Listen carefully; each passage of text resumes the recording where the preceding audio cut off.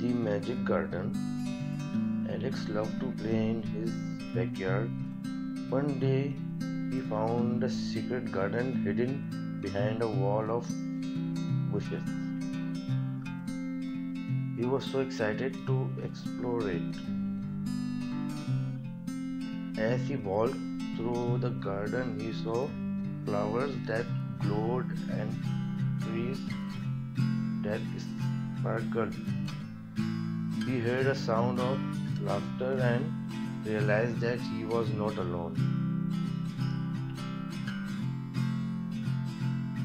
He saw a group of fairies and elves dancing and playing. They invited Alex to join in, and he had the time of his life.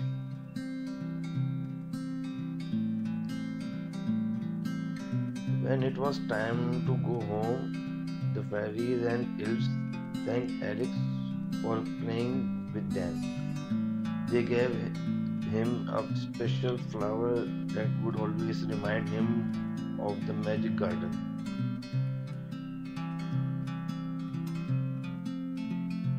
Alex couldn't believe what had just happened. He realized that magic could be found in unexpected places.